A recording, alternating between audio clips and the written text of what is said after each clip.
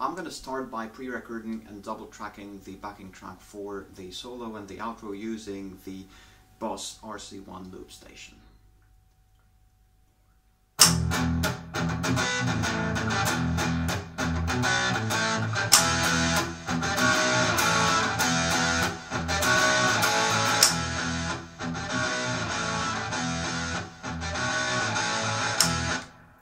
that's good. And now let's see the whole song condensed.